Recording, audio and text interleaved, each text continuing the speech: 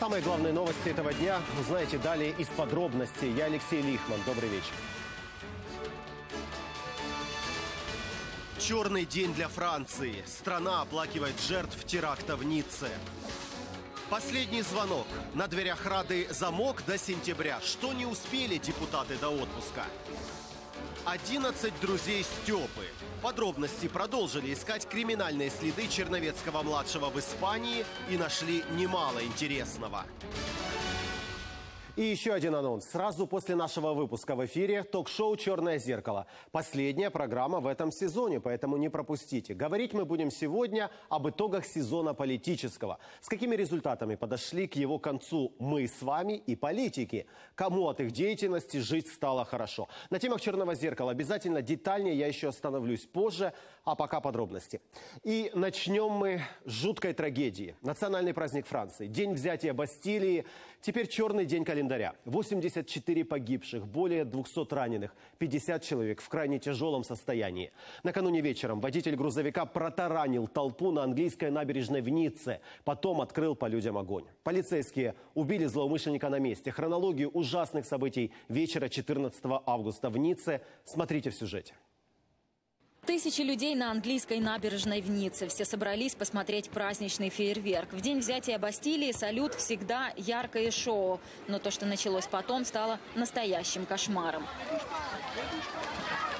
На большой скорости в толпу врезался грузовик. Машина двигалась по набережной зигзагами, давя людей почти два километра. Все в панике начали разбегаться. Очевидцы говорят, это была настоящая мясорубка. Грузовик ехал на людей, он всех давил, всех. Охраны не было. Потом я услышал выстрелы. Там было столько людей на земле, так много, что я пытался закрыть глаза и бежать, чтобы только не видеть всего этого. Это очень страшно. Немецкий журналист, свидетель трагедии, рассказал, что видел мотоциклиста, который пытался добраться до дверцы кабины грузовика, но упал прямо под колеса машины. Потом грузовик остановился, и водитель открыл огонь. Вот кадры ликвидации злоумышленника. А это последствия трагедии. Первые минуты после наезда. Перепуганные лица, множество погибших на асфальте. Среди них 10 детей. Есть иностранцы, граждане восьми стран, один украинец. 50 детей ранены. Одна семья потеряла в толпе своего восьмимесячного малыша. К счастью, его удалось найти после того, как родители разместили свой пост в Фейсбуке. Да, мы гуляли, и тут мой семилетний сын сказал, смотри, мама, там еще петарды. А на самом деле это был грузовик. Многие люди говорили нам, уходите, уходите. Мы не понимали, в чем дело. Люди кричали, плакали дети. И слова моего сына, это был просто шок.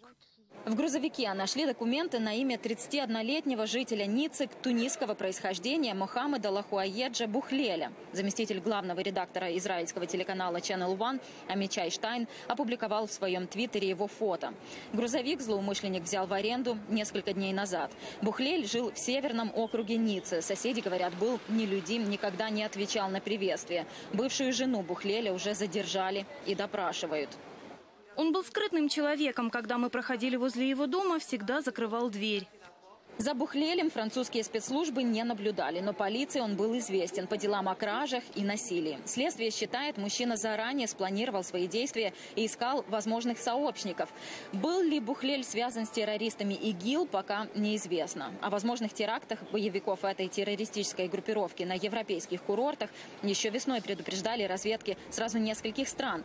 Также было предупреждение о возможных терактах во время футбольного чемпионата Евро-2016 во Франции. А в конце мая на закрытых парламентских слушаниях директор французской внутренней разведки Патрик Кальвар говорил о том, что боевики исламского государства готовы изменить тактику своих нападений. К расследованию теракта в Ницце подключился Интерпол. Тем временем французы критикуют работу мобильного предложения САИП, созданного при поддержке правительства для оповещения о готовящихся или совершенных терактах. Уведомление о нападении в Ницце пользователи получили спустя почти три часа после трагедии. Меры безопасности усилены по всей стране. Сегодня днем из-за неопознанного багажа в аэропорту Ниццы провели эвакуацию. Несколько часов работа воздушных ворот города была заблокирована. В Ниццу прибыл президент страны Франсуа Оланд. Во Франции объявлен трехдневный траур. Светлана Чернецкая, Ольга Головина. Подробности телеканал Интер из Ниццы. Во время теракта в Ницце пропала группа детей из Германии. О судьбе более двух десятков несовершеннолетних весь день не знал никто. Их имен нет среди погибших, но и найденными правоохранители их не объявляли. Прояснилась ли их судьба к этому часу? Давайте спросим у Алексея Пшемыского, мой коллега, мой коллега на связи из Франции. Леша, ты направлялся в Ниццу, но долететь тебе не удалось. Скажи, почему? И ждем информации о судьбе немецких детей. Алексей, добрый вечер. А, ну, надеюсь, что вы меня видите и слышите, потому что а, из-за огромного скопления людей по аэропорту Шарль-де-Голля, где мы сейчас находимся, здесь очень плохой интернет. А, вот нам пришлось отойти в место, где он работает немного лучше.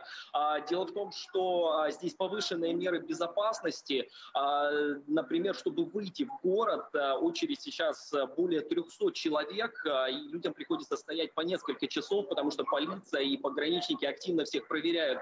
А, да, действительно, мы уже должны были быть в Ницце, но дело в том, что несколько часов аэропорт Ниццы был полностью закрыт, всех людей оттуда эвакуировали а, из-за того, что в зоне получения багажа нашли подозрительную сумку. А, но вот, как сейчас нам уже сказали, аэропорт продолжил работать. А, я надеюсь, что скоро мы туда попадем.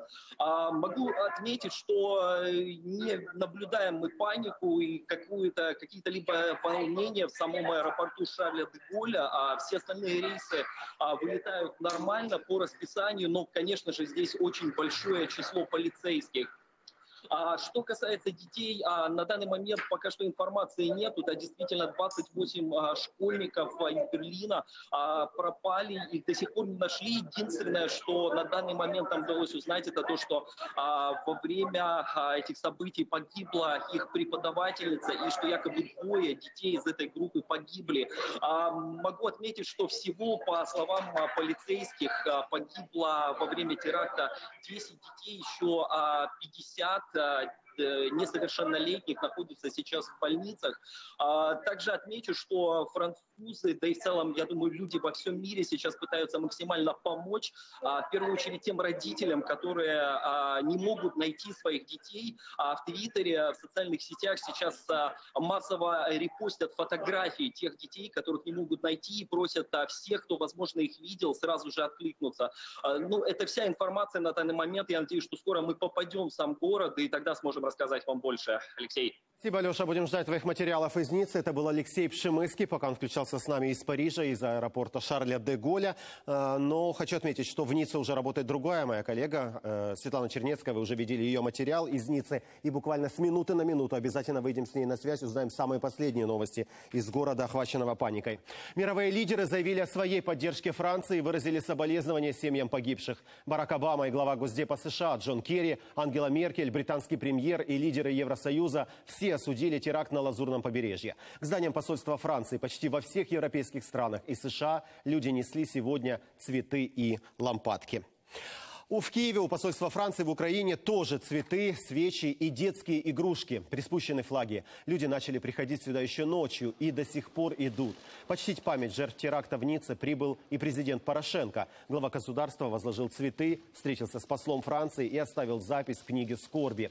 Выразить поддержку французам пришли также премьер Владимир Гройсман и другие политики. Для нас очень важно, что вы пришли, что э, премьер-министр и министры пришли сегодня для того, чтобы нам показать, що ми вместе. Ще раз, ще раз. Дуже дякую вам. Україна пліч опліч з нашими французькими братами, партнерами готова докладати всіх зусиль для боротьби з тероризмом. Наша позиція абсолютно чітка. Нас не залякати. Ми не боїмося. І цінності, які нас об'єднали, цінності французької революції. Свобода, рівність, братерство, ліберте, егаліте, фратерніте є базовими цінностями. Ми сумуємо і співчуваємо народу Франції, тим, хто загинув. За це треба карати всіх, хто до цього причетний. Е, хто підтримує ці всі рухи. Треба зупинити цю навалу, жахливу навалу агресії, вбивств.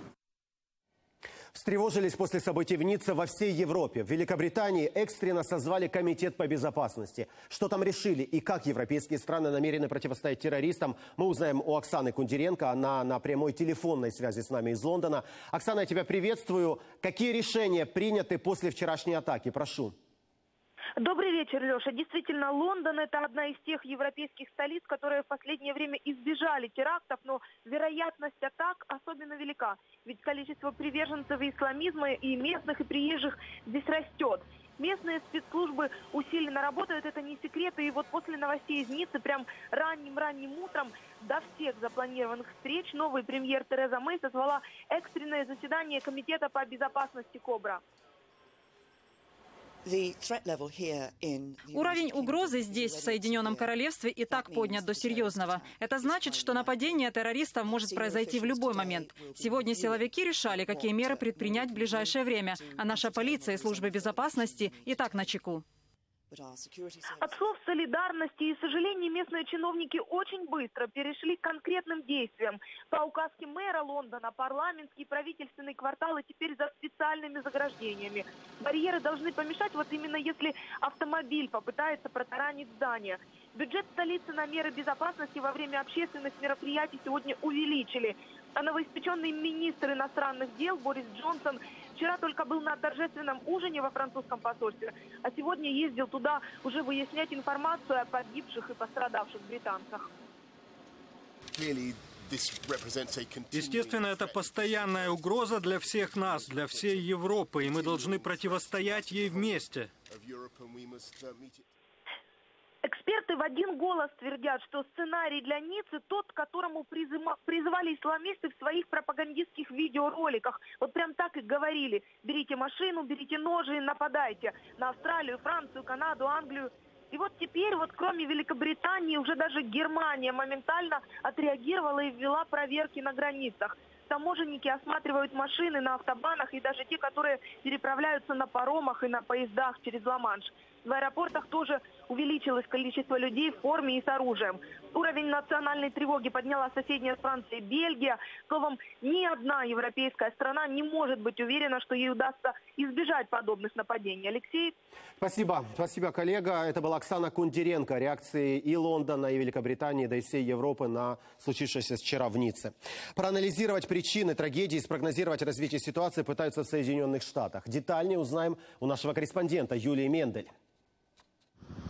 В США со вчерашнего вечера почти все новости о трагедии в Ницце. Президент Обама уже пообещал, что Америка поможет Франции в проведении расследования, а кандидаты на пост главы государства Дональд Трамп и Хиллари Клинтон уже заявили, что это война. Кстати говоря, Дональд Трамп даже перенес на завтра конференцию по оглашению вице-президента в случае своей победы на выборах. Каждые полчаса по CNN показывают э, подробности трагедии и э, приглашают все новых экспертов. По всему миру транслируют заявления президента Аланда о том, что Франция не становится в своей борьбе с терроризмом и еще активнее будет действовать в Сирии и Ираке. Эксперты сходятся во мнении, что именно это является основной причиной, почему Франция стала одной из главных мишеней для террористов. То, что случившийся теракт уже ни у кого не вызывает сомнений.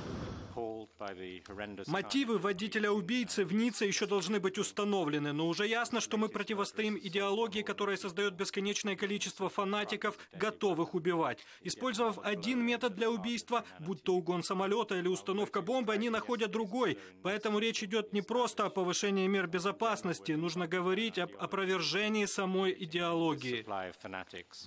Хотя ранее от ИГИЛа поступали угрозы о новом теракте, тем не менее ответственность за трагедию на себя еще никто не взял.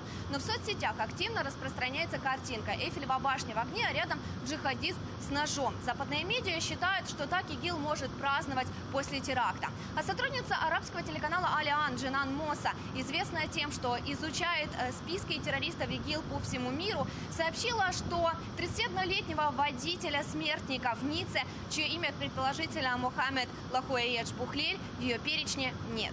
Юлия Мендель, Юрий Романюк. Американское бюро телеканала «Интер». О страшной трагедии во Франции мы обязательно поговорим сегодня и в программе «Черное зеркало». Узнаем, кстати, последние новости из Ниццы у Светланы Чернецкой, как в эфире ток-шоу, так и немного позже в подробностях. Ну а на «Черном зеркале» попытаемся разобраться, как изменился мир за последние годы и возможно ли повторение подобного ужаса у нас здесь, в Украине.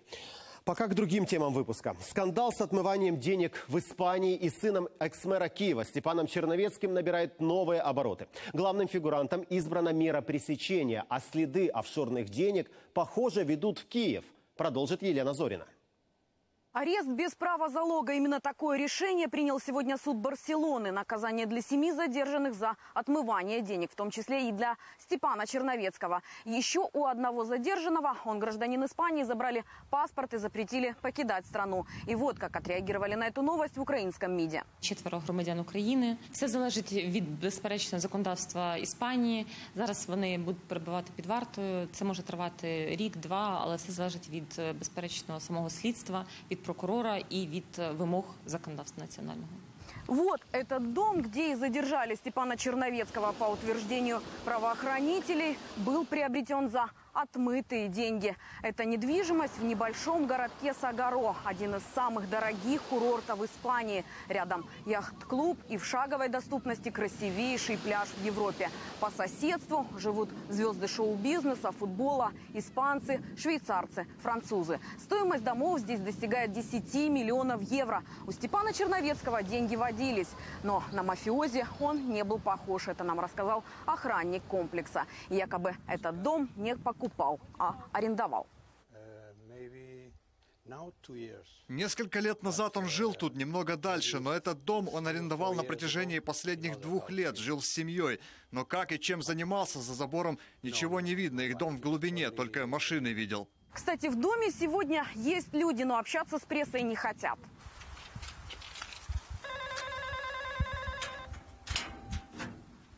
Hello.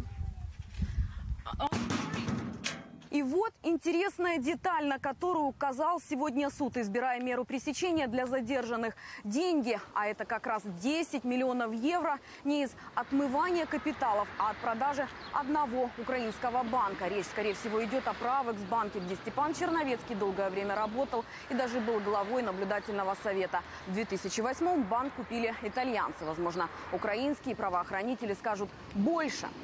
По испанскому законодательству арестованным грозит до 6 лет тюрьмы плюс штраф в трехкратном размере от отмытой суммы, а это 30 миллионов евро. Из Испании Елена Зурина, Евгений Каминский. Подробности телеканал Интер. В ГПУ арест Степана Черновецкого и киевский след офшорных денег не комментируют. Зато генпрокурор рассказал некоторые детали о делах Черновецкого-старшего. В Украине в связи со скандально известным градоначальником есть сразу несколько закрытых уголовных дел в столичной прокуратуре. Є декілька старих, в основному закритих справ по діяльності пана Чорновецького старшого на посаді міського голови міста Києва, які зараз активізовуються, і саме в наступний понеділок я отримаю службовий рапорт новопризначеного прокурора міста Києва про стан старих, як здавалося, забутих справ. Сподіваюся, що не лише іспанська, але й українська Фемида скажет свое слово. 2 миллиона гривен залога или два месяца ареста. Соломенский райсуд Киева избрал для бывшего замдиректора предприятия «Укрзалезнич-Постач» Романа Кравчука меру пресечения. Суд частично удовлетворил ходатайство НАБУ и специализированной антикоррупционной прокуратуры. Обвинители просили залог в 20 миллионов гривен. Именно в такую сумму оценили ущерб, нанесенный чиновниками от приобретения продукции по завышенным ценам. Підозрюється в розкраданні державних коштів, вимивання коштів з Укрзалізниці. Ми просили 20 мільйонів гривень, щоб відповідала сума застави сумі заподіяних збитків, щоб можна було сподіватися на належне виконання своїх процесуальних обов'язків. По цьому провадженню ще фігурує близько 20 закупівель на суму до мільярда гривень. Також будуть подальшому затримання. Еще одно судебное решение – 60 суток под стражей или выход под залог, но уже гораздо больший для экс-чиновников Нацбанка Алексея Ткаченко и Романа Яковлева. Сумма залога – 20 и 10 миллионов гривен соответственно. Такое решение накануне вечером вынес Голосеевский суд Киева. Пока деньги за Ткаченко и Яковлева никто не внес, они находятся в СИЗО. Адвокаты задержанных намерены обжаловать судебное решение. Напомню, бывшего замглавы НБУ и экс-руководителя департамента банковского надзора подозревают в махинациях почти на 800 миллионов гривен. По данным ГПУ, чиновники действовали в интересах преступных схем Арбузова, Януковича и Курченко. И еще одни слушания. Соломенский суд избирает меру пресечения задержанным накануне первому заму главы «Нафтогаз» Сергею Переломе и замдиректора ОПЗ Николаю Щурикову. Кто приезжал на заседание и что решил суд, расскажет Анна Каменева. На 9 утра в Соломенский суд съезжаются журналисты, адвокаты, антикоррупционные прокуроры и народные депутаты. Парламентскому заседанию предпочли судебное. Написали і передали через адвокатів клопотання. Я особисто готовий взяти на поруки обидвох підозрюваних у цьому кримінальному провадженні. Заседание начинается почти через 5 часов. Журналистов в зал не пускают. Штурмова рота 24 Айдар. Що ви вам? вы заходите, нас не пускают? А який маєте стосунок до Одеського припортового заводу? Кого ви пропустили? Що це за люди Amor, está aqui o nome dele. Zakryłam. Zakryłam. Zakryłam. Zakryłam. В итоге журналисты все же зашли. Первым слушает дело замглавы «Нафтогаза» Сергея Переломы. Его вместе с замом директора Одесского припортового завода Николаем Щуриковым подозревают в растрате имущества ОПЗ на сумму 205 миллионов гривен из-за махинаций с газом. Лише запобіжний захід у вигляді тримання під вартою. Е, Як альтернативу ми просимо застосувати заставу в розмірі 205 мільйонів гривень, кожному 205. А збитки, які надані стороною обвинувачення, складають взагалі 205 мільйонів. Тому адвокатам є незрозуміло, чому 205 мільйонів пропонують одному і іншому. Домашній арешт взагалі буде достатньою підставою для того, щоб забезпечити слідство. Оба дела слушает один судья Андрей Макуха. Ему адвокаты сразу объявляют отвод. На даний момент суддя Макуха сам перебуває під слідством по двом кримінальним провадженням. Отримання та давання хабаря. Друге, друге провадження проводиться Національним антикорупційним бюро України. Постановлення завідомо неправосудного вироку рішення ухвали. В отводе судьи отказано. В перерыве к суду подъезжает глава «Нафтогаза» Андрей Коболев. Общается с адвокатами и нардепами, но с прессой говорить отказывается. Ну розкажіть, будь ласка, ви ж не просто так під'їхали.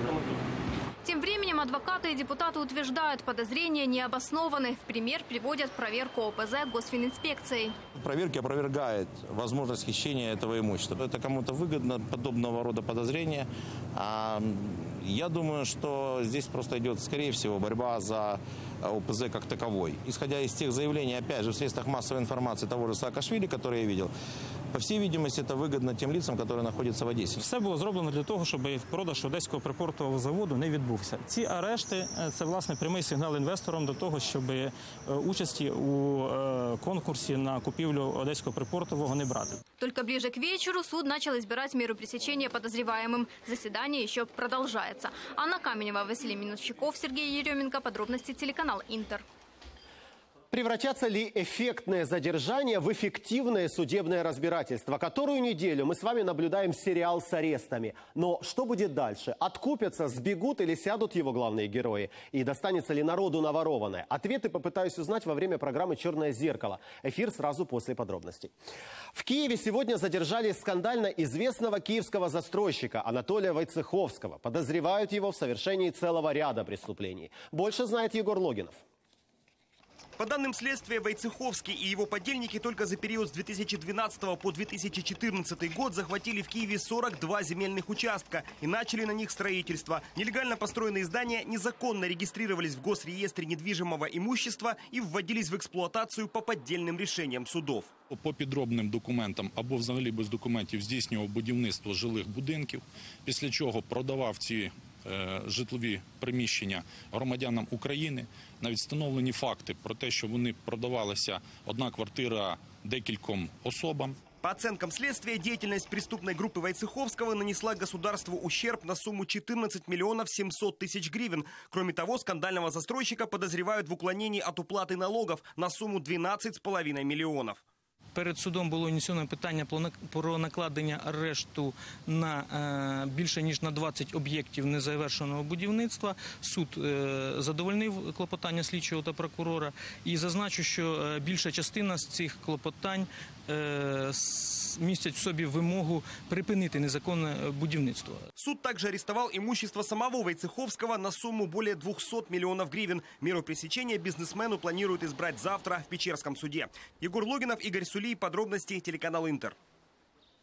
В Киеве и Бахмуте сотрудники Генпрокуратуры и СБУ задержали двух прокуроров. Они требовали взятку у подозреваемого в госизмене бывшего депутата Крыма Василия Галныша за то, что поменяют статью на менее тяжкую. В 2014 году Галныш, по версии следствия, голосовал за референдум о статусе Крыма и тем самым способствовал посягательству на территориальную целостность Украины. Прокуроры требовали у экс-депутата 45 тысяч долларов США. Сторговались, кстати, на 15. Обоим прокурорам уже объявлено о подозрении. А вот в громком деле Укргазвыдобывания прокуроры пока пошли на попятную. Документ о подозрении нардепу Александру Онищенко вернули на доработку в Национальное антикоррупционное бюро. В то же время сам Онищенко уже прокомментировал ситуацию на своей странице в Фейсбуке. По его словам, у газового дела, связанного с ним, цитирую, «хромает фабула». Утверждает, компания, которую связывают с его именем, не присваивала государственный газ, а купила его и могла распоряжаться по своему усмотрению. Уголовное производство против еще одного нардепа Олега Ляшко. ГПУ открыло его по факту угроз лидера радикалов в адрес прокурора Черниговской области Виктора Насенко. Об этом на своей странице в Фейсбуке сообщила пресс-секретарь генпрокурора Лариса Сарган. Она же сообщила, причиной стала обнародованная в СМИ видеозапись телефонного разговора Ляшко с Насенко. Лидер радикалов угрожал сотруднику прокуратуры и нецензурно выражался в его адрес. В ГПУ уже начали досудебное следствие. Ляшко обвиняют по двум статьям сразу. Угроза насилием работнику правоохранительных органов и влияние на него с целью добиться незаконного решения. Последний день перед отпуском. Впереди у депутатов полтора месяца каникул. Напоследок слушали генпрокурора и министров, но больше думали об отпуске. Кто и куда отправится отдыхать и как испортили торжественное закрытие сессии. Подробности в сюжете. Сочувствие французскому народу и минута молчания в память о погибших. Так депутаты начинают последний сессионный день. Впрочем, зал полупустой, зато в правительственной ложе полный состав Кабмина. Но вначале доклад генпрокурора. Юрий Луценко с трудом пробираясь к трибуне, рассказывает о расследовании Иловайской трагедии. Експерти встановили, хто і як командував військами на даному напрямку, хто віддавав накази і хто не віддав життєво необхідних наказів. Експерти завершують свою роботу. Все детали следствия под грифом «секретно». Депутатам Луценко обещает открыть доступ к гостайне. Но их это, похоже, мало интересует. Как и присутствие министра в зале. Несколько вопросов о тарифах, субсидиях, по поводу повышения зарплаты, пенсий. Камень в огород премьера. Наша відповідь популістам у 2008 році, 31 жовтня, був підписаний меморандум з Міжнародним валютним фондом. От хочу сказати вам з цієї трибуни, по сьогоднішній день я не підписав жодного меморандуму, шановні колеги, жодного. А от є підписи, зокрема, прем'єр-міністра України Юлії Володимирівни Тимошенко. От він підписаний. В пункті 17. І дозвольте, я вам його зачитаю. Це те, що підписала Юлія Володимирівна. Для того, щоб забезпечити тривалу базу для продовження здорового фінансування, а також порядкувати фінансові стосунки НАК «Нафтогазу» з бюджетом до кінця 2011 року, ми, уряд, зрівняємо ціни на газ внутрішнього видобутку та ціни на імпортований газ. А в кулуарах подводят итоги работы самих нардепов за полгода. И все важные законы снова отложили. Теперь уже до осени. за 6 місяців, яке продовжує сесія, прийнята у вигляді законів 95. Це свідчення неефективності роботи парламенту. А саме головне, що якість цих законів дуже низька, тому що лева частина їх це суто політичні або ідеологічні речі, які сьогодні суспільство мало турбують. Парламент так працювати в країні, яка знаходиться в кризі, не має права. Якщо порахувати ефект від цих законів, він по суті дорівнює нулю. Робота Верховної Ради під час цієї сесії була абсолютно неефективною. Вопрос об отмене каникул даже не вносили в повестку дня. У депутатов уже все распланировано. На початку серпня я би хотів чи в Карпати, чи в Херсонщину поїхати. Я живу на мальовничій Буковині, і там найкращий відпочинок для мене. Я все-таки люблю дуже так е, путешествувати. Я поїду в цьому році в Грецію. Тут достатньо люди, які вже ну, мають і досвід, і можливості. І не будемо цим завлікати, казати, що вони такі всі бідні, будуть сидіти на своїх округах, е, в своїх громадських приймальнях. Я в це не вірю. Пока одни решали, куда в отпуск полететь, у других разбор полетов дня вчерашнего. А именно запуск дрона, фиксировавшего кнопкодавство. Владимир Поросюк в словесных баталиях сошелся с Ириной Геращенко.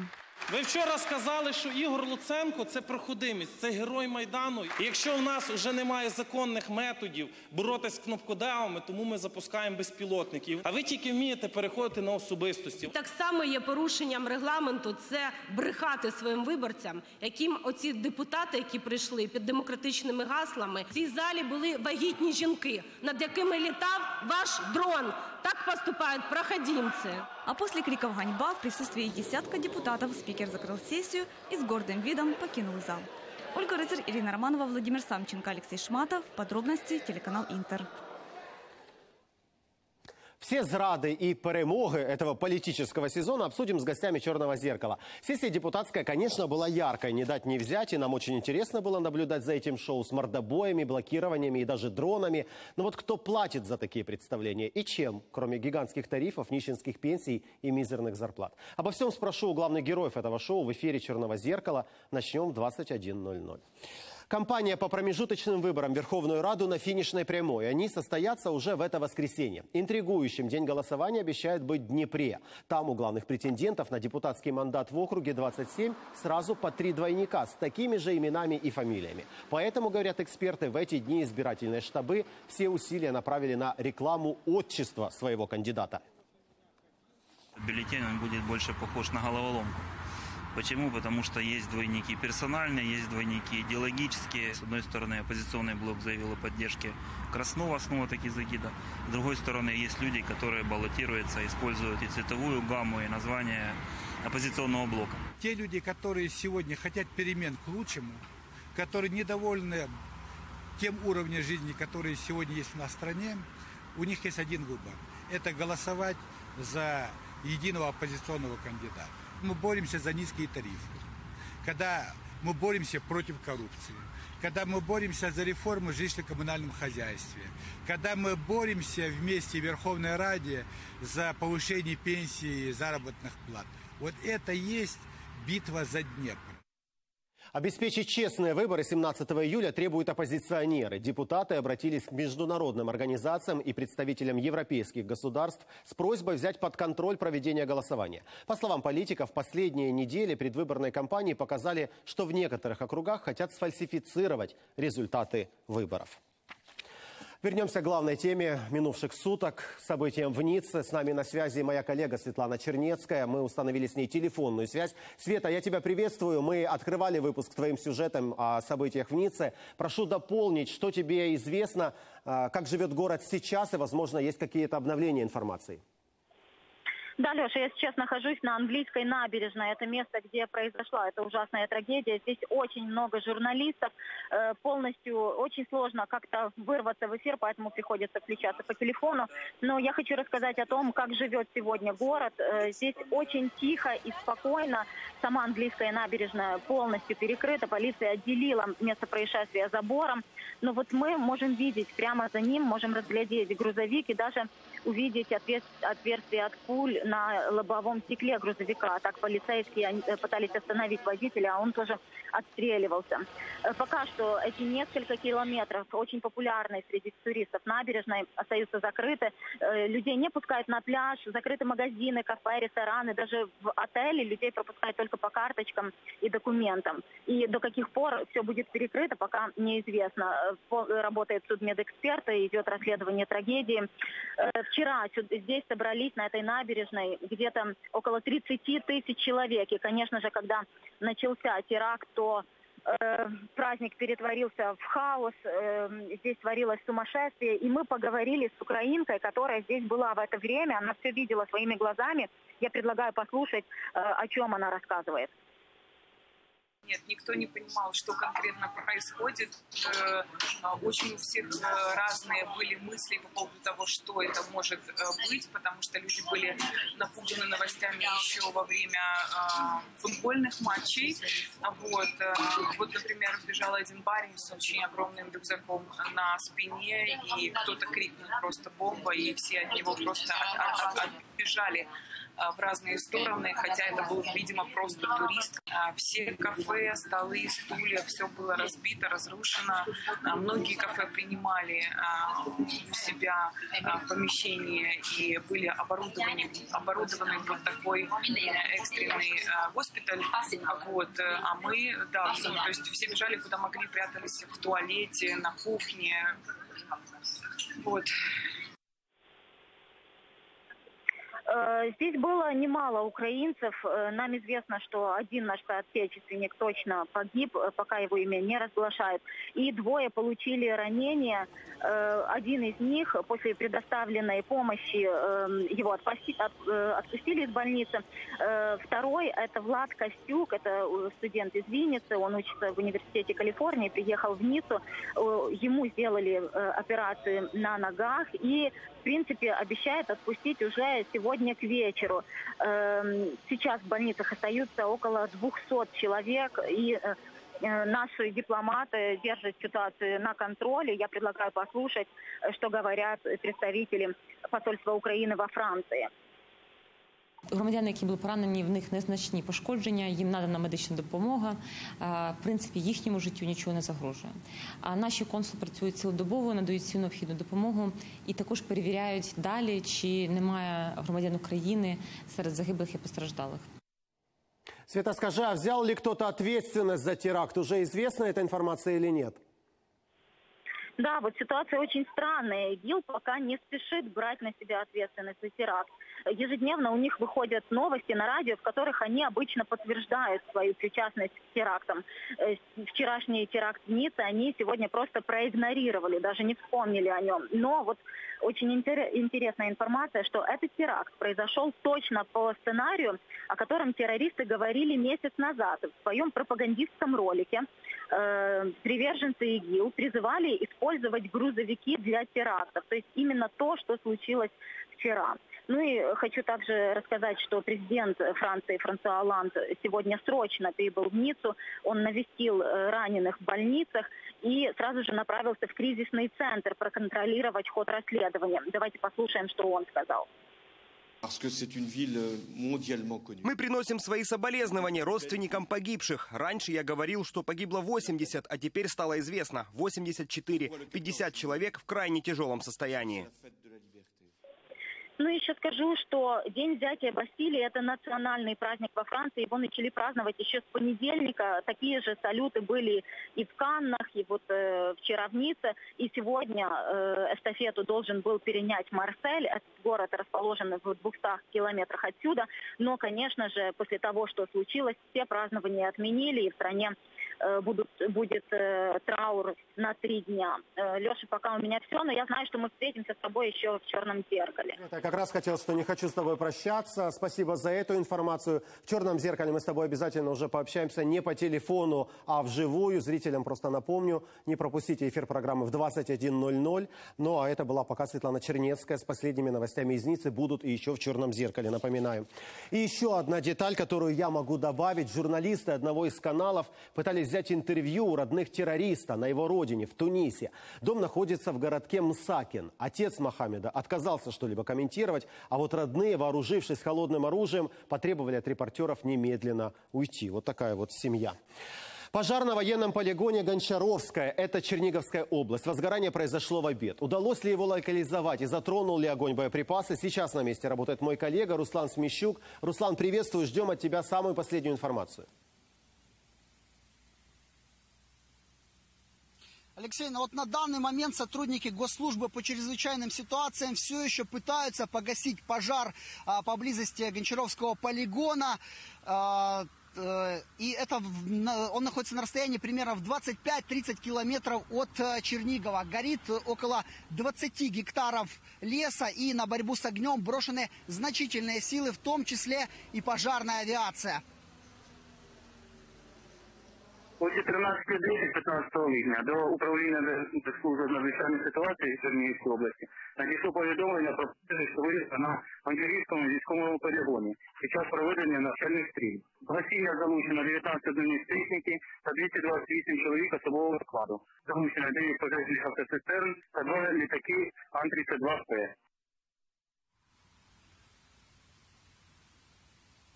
Сейчас здесь, э, в Черниговской области, стоит жаркая, сухая погода, так что возможной причиной возгорания стало э, неаккуратное обращение, неосторожное обращение с огнем. А также местные жители рассказали нам, что еще утром слышали э, со стороны полигона взрывы и залпы, там идут военные учения, и это также могло стать э, причиной возгорания. Ну, щось стріляло зранку. Ну, десь часов 11 дим почав іти. Вже видно було, що десь щось горить. Може, може пол 12, десь около 12. Так що ми до цього роді привикли вже. Хочу отметить, что местные жители на происходящее реагируют достаточно спокойно, паники нет, ну то есть снаряды и боеприпасы не взрываются. Также отсутствует один из главных признаков масштабных лесных пожаров, это сильное задымление окрестностей, воздух здесь чист, похоже, что спасателям удалось локализировать э, очаги возгорания, локализировать э, места возгорания. Алексей. Спасибо. Руслан Смещук о пожаре на полигоне в Черниговской области. Джон Керри завершил переговоры с Лавровым и Путиным в Москве. Что известно о результатах и как стороны прокомментировали урегулирование конфликта на Донбассе, продолжит Данил Русаков. Встреча госсекретаря США и министра иностранных дел России прошла еще в первой половине дня. Из приветственной речи стало известно, минувшим вечером Джон Керри уже провел переговоры с президентом Владимиром Путиным.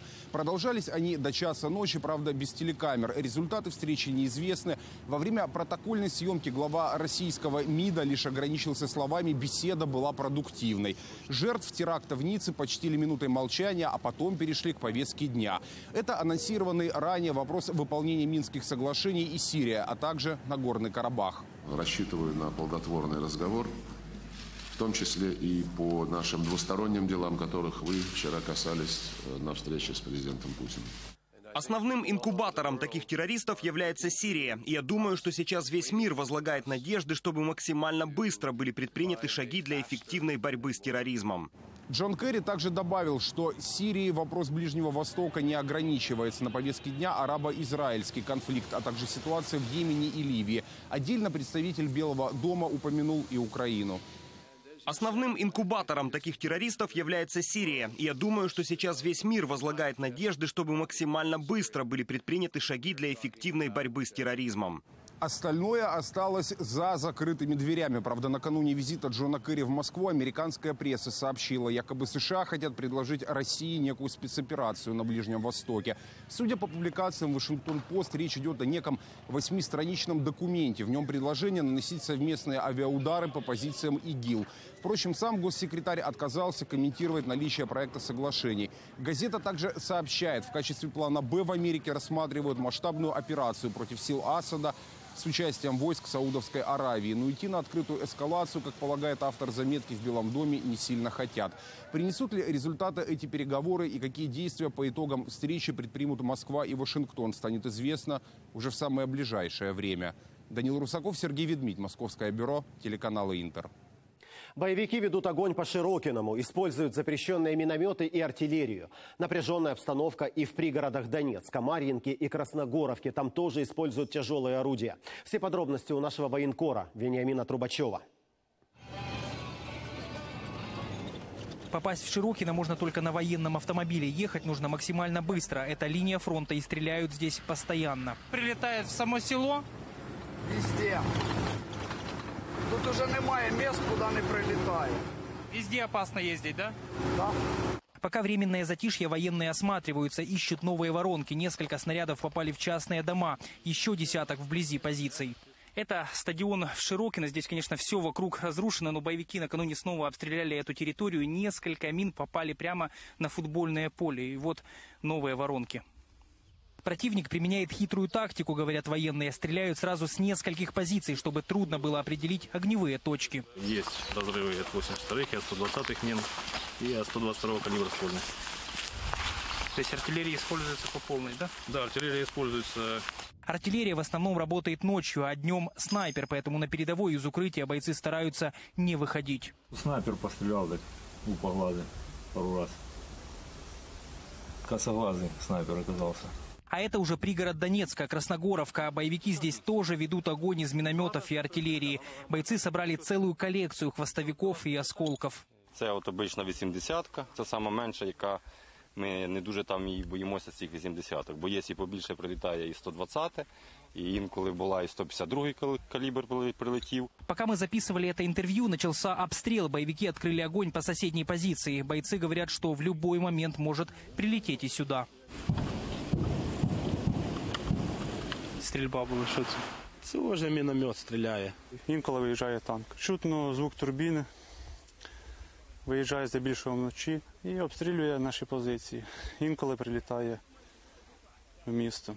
Здесь противники укрепляются, говорят бойцы. Они видят, как боевики роют новые окопы и строят блиндажи, но открывать первыми огонь по ним запрещено. Вениамин Трубачев, Даниэль Косаковский и Антон Чиженко. Подробности телеканал «Интер», Донецкая область. Прифронтовые районы требуют от центра увеличивать финансирование на ремонт важнейшей инфраструктуры. Там и до проведения АТО дела обстояли не лучшим образом. Теперь же сети и дороги в критическом состоянии. Трасса под Новопсковом изношена на 70%, а объемы дорожных работ просто минимальны. Деньги в райавтодор практически не поступают. Центр Киев должен, должен обратить внимание на этот вопрос. Обязательно должен обратить внимание на этот вопрос, потому что так дальше нельзя.